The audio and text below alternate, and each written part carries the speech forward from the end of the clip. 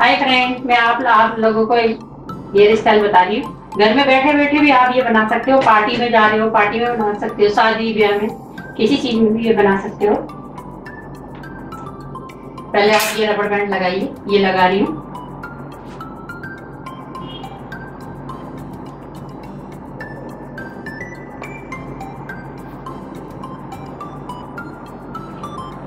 ये देखिए मैंने रबड़ बैंड लगाया है।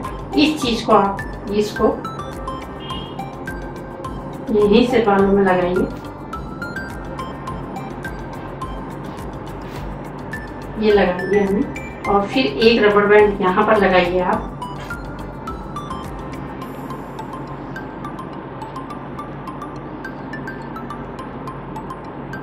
और इन बालों को ऊपर को ऐसे करिए।